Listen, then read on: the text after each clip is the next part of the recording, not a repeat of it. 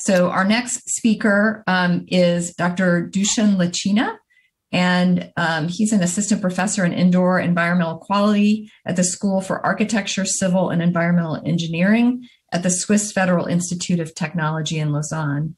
He's going to be talking about the utility use and misuse of low cost consumer indoor particulate matter sensors.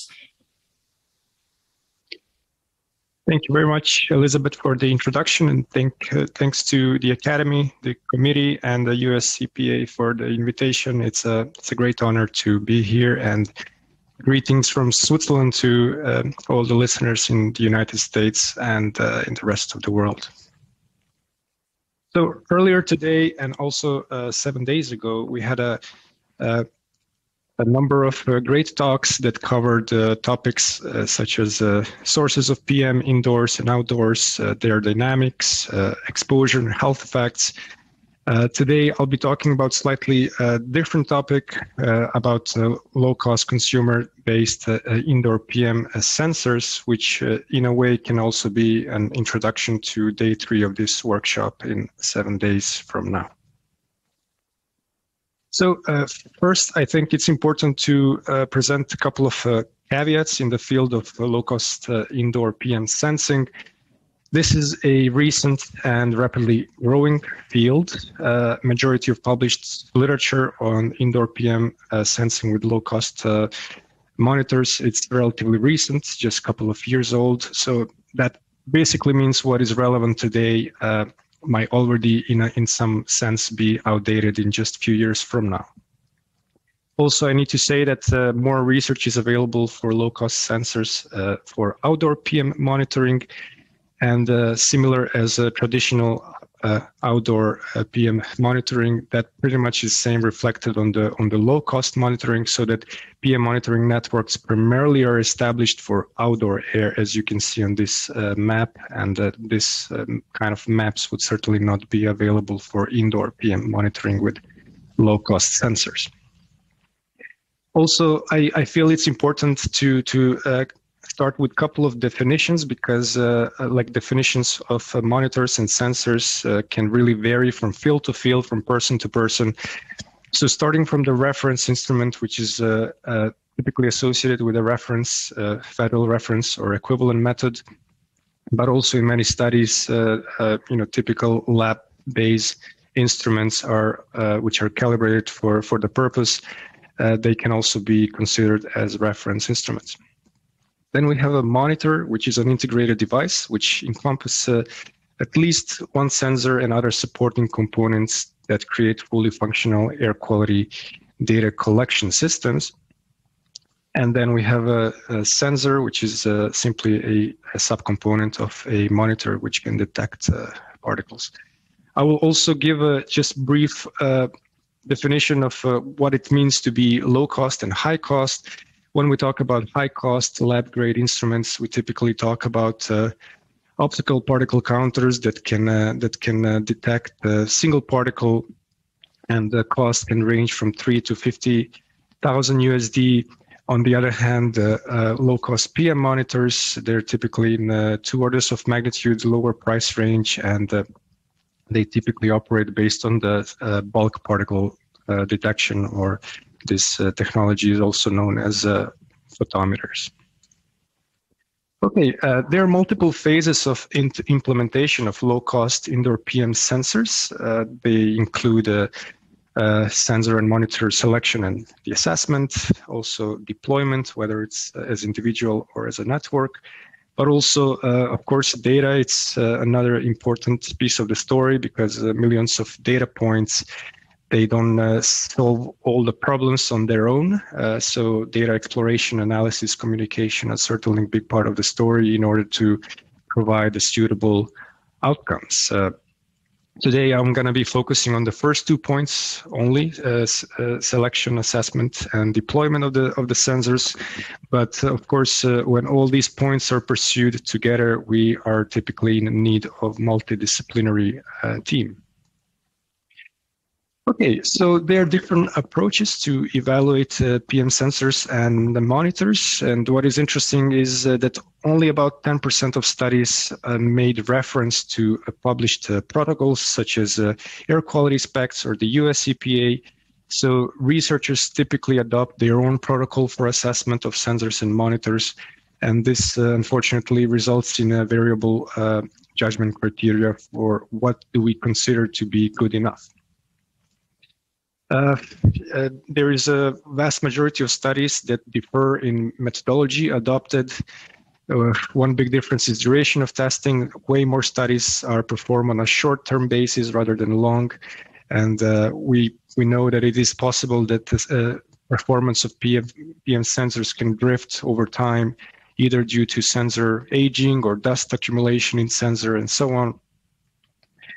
Furthermore, uh, measurement environments, typically uh, most of the studies are done in on the lab-based environment, relatively few on, in the field. Then also methods differ in a number of replicate technologies and the reference methods uh, utilized.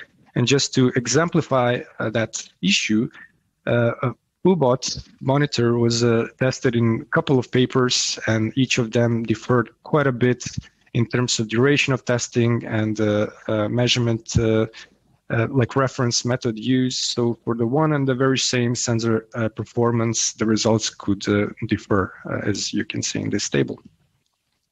So when we talk about uh, performance indicators for the low-cost PM sensors, uh, we have a range of uh, factors to consider, comparison with the reference instruments, repeatability, a limit of detection, and so on. I'll be covering a few of those. So uh, when compared to reference measurement, uh, uh, reference uh, measurements, uh, a high degree uh, there is a high degree of correlation. typically, about r r square is about 0.5. But if those studies are performed in the lab environment, low-cost PM sensors typically perform even better, typically 0.8, 0.8 nine is the R square. And the low cost PM2.5 sensors are typically within factor of two from the reference for the lab based measurements. Of course, in the field, uh, these sensors can suffer significant response changes, uh, which can be attributed to changing conditions for particle composition, particle size, but also uh, dynamic uh, variable factors such as indoor climate. So, uh, of course, comparing the lab-based and field-based assessments, uh, there are some uh, critical differences. In the lab, it's typically hard to maintain a low level of PM concentration for an extended period of time. composition and concentration of test aerosols uh, might not be representative of the study area. And on the other hand, in the field, uh, there is a variable particle composition, size, and environmental factors which need to be taken into account. When it comes to repeatability and reproducibility, uh, for majority of the sensors, uh, generally uh, um, there is a high intermodal consistency, typically about 0.8. And uh, again, these numbers typically come from the lab-based studies. They're basically reported reproducibility could be affected with the PM concentration range, sensor type, but also longitudinal performance. For example, reprodu reproducibility of these uh, uh, sensors for uh, cigarette smoke is higher compared to the Arizona test dust. And uh, there is uh, also, for example, risk of accumulation of the larger particles, which would be the example of Arizona test dust compared to the cigarette smoke. Also, um, organic PM do uh, typically come out as a, in a higher concentration compared to inorganic PM, even though the sensors are exposed to, at the very same concentration level because uh, of the of the uh, absorption and scattering uh, properties. Uh, of course, uh, scattering is higher for the organic PM. Then another interesting criteria is the limit of detection. Sensor performance can typically be compromised at these low PM levels and typically we talk about 10 micrograms per cubic meters. Um, here in Switzerland, we've been doing a couple of field tests uh, in in in quite you know pristine uh, environment uh, with respect to the PM 2.5 and a lot of sensors would simply just be reporting zeros. So uh, here we can see uh, some lab-based tests of different sensors exposed to cigarette smoke.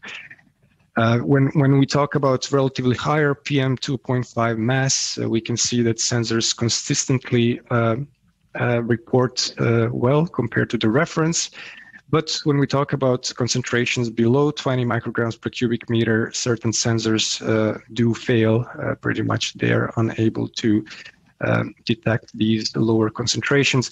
So, you know, a, a brief summary on, of this is that, of course, it's necessary to calibrate uh, each sensor individually for a specific environment where they will be used, but also for expected uh, particle uh, concentration and size range. And well, last but not least, uh, environmental factors such as humidity and temperature also do um, uh, play a role in the sensor output. Uh, low-cost sensors do not dry uh, particles, unlike uh, traditional uh, kind of instruments. And this can lead, of course, to compromise accuracy of the sensors as a function of particle hygroscopicity. Um, so humidity is definitely more important than uh, temperature. And a couple of studies found that uh, typically at 85% uh, relative humidity or 90% relative humidity, sensor performance might be compromised. And also uh, the composition effect could be also associated with the uh, particle uh, hygroscopicity and it can also interact with the relative humidity levels so that certain mixture of aerosols could be more susceptible to like relative humidity compared to the others. So I'm gonna dare to give a few recommendations for different uh, stakeholders based on the several points shared um, for the standard and guideline developers. I think there is a need to formulate uh, standard guidelines for assessing the short and long-term performance sensors, which can be used by everyone for researchers, uh, there is a need to standardize performance testing to allow intercomparison between different studies, and also we need to calibrate our our devices uh, uh to be used under conditions in which uh, the, the study will take place. And then for a personal view for the sellers and manufacturers, uh, I think it would be nice if there is a a selection of sensors and monitors which are pre-calibrated for various uh, types of indoor environments. So uh, end users could, could simply uh, select like customized type of the sensors.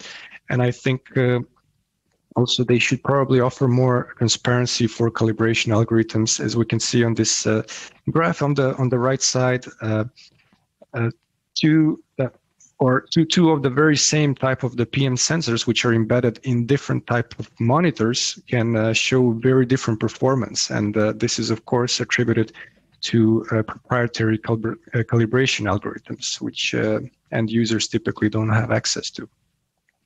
And for non-expert users, uh, you know, I guess they can hope that others will do their job, or maybe they can become a friend with the air quality expert. Okay, uh, I want also want to touch up upon several deployment challenges and needs. Uh, at present, what is interesting that uh, continuous indoor PM monitoring is not required by any uh, local building or health or safety code. We're talking only about uh, completely voluntary actions at this stage. And uh, one example would be a well building standard. They, for example, not require, but offer as an option for additional points that uh, one PM sensor should be placed on every 325 uh, square meters, which uh, comes uh, to some uh, in some way quite arbitrary. But in order for them to uh, develop more accurate and more precise guidelines, there is a, a set of research questions that can help improve these guidelines. Some of them are how do we ensure long term performance in the field environments? What is the optimal time resolution for low cost sensors?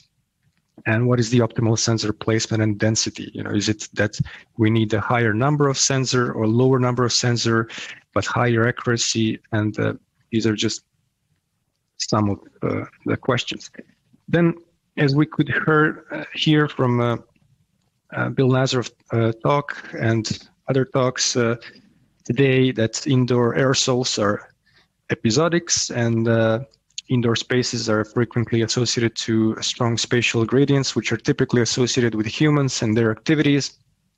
And uh, as a result, uh, each of us, every person is kind of enveloped with this uh, personal cloud, personal PM 2.5 or 10 cloud. And uh, these uh, these kind of effects cannot be effectively captured with stationary outdoor and uh, indoor and especially outdoor stations. So uh, one of the uh, certainly deployment needs is uh, development of portable, inexpensive, and robust uh, continuous PM sensors, which uh, has been a growing field. And uh, these efforts are really important to improve connections between indoor spaces and exposure to PM. I could make a, a similar example for the comparison between building and outdoor scale because there is a strong interplay between the two. Outdoor air pollution is an indoor problem, as we could uh, hear earlier today. Uh, so uh, we we certainly need to consider how do we deploy these low-cost PM sensors, both an indoor and outdoor scale, in an integrated manner, so we actually know how to deal better with the events such as wildfires and you know, simply if we live in urban environments, etc. A few more things. Uh, particles which are smaller than 0.3 microns, they do not uh, scatter enough light. And that means that uh, uh ultrafine particles cannot be detected by these optical uh, methods. So uh, I also want to uh, say a word of caution here because uh, a lot of ultrafine particle sources do emit uh, also particles above 0.3 microns. And even in some spaces with a high concentration of UFP, there could be uh, agglomeration effect. So that means that uh, depending on a source, low-cost PM2.5 sensors could be, in fact, also detecting UFP, and uh, they could also partially be effective in their control. But uh, certainly, we do have a need for uh, development of new measurement approaches for detecting the ultrafine particles. And well, last but not least, uh, uh, this is maybe uh, I, have been showing in the previous slide uh, that uh, there are trade-offs uh, which arise when the low-cost PM sensors are, are used instead of the existing reference methods. two questions I'm throwing in here. Perhaps we can talk about it during the panel discussion. Do we need low-cost sensors to be as good as the high-grade instruments? My take is probably not, but they certainly need to go through further refinement, uh, but uh, it's probably good enough if the sensor is accurate in a relative sense rather than in an absolute sense.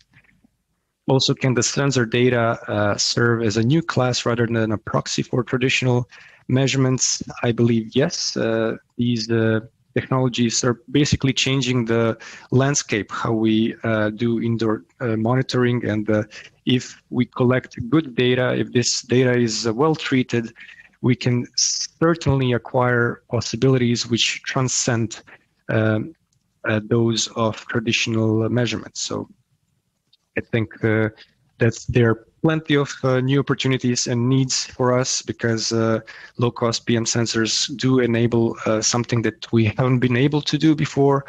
And you know this is important because the traditional snap snapshot measurements simply as we could see uh, they can uh, they have many limitations. They can uh, miss many important features of exposure. They can lead to exposure misclassification.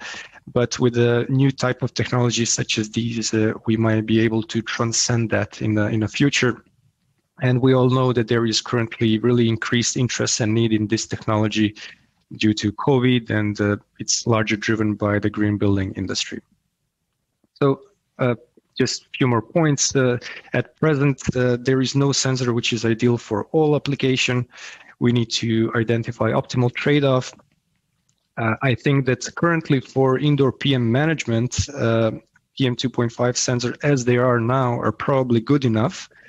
But uh, in uh, instances where we need a precise and absolute quantification, then they're still probably not ready to replace more established methods.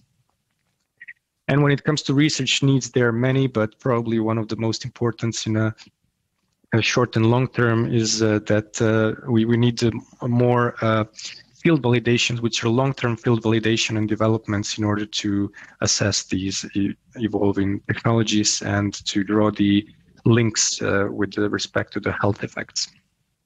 So I'll stop here. Thanks for the attention, and I look forward to questions.